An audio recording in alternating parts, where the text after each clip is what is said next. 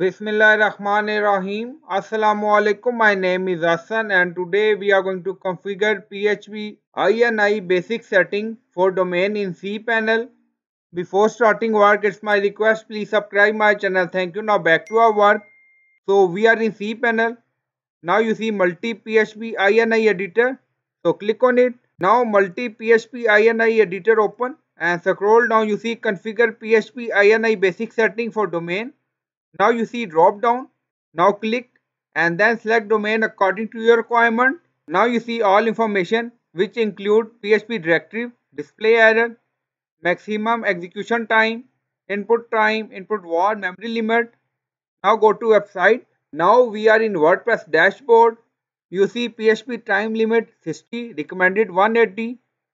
Now you see PHP maximum input var 1000, recommended 1500.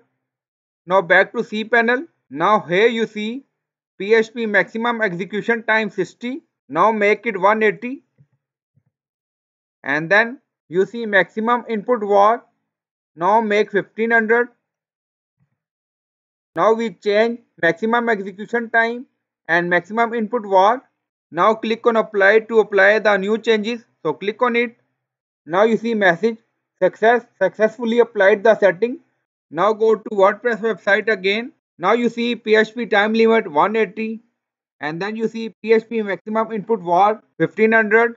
So in this way you can configure PHP INI basic setting for domain in cPanel. So I hope you like this video. Please like, comment, share, subscribe. Thank you for watching.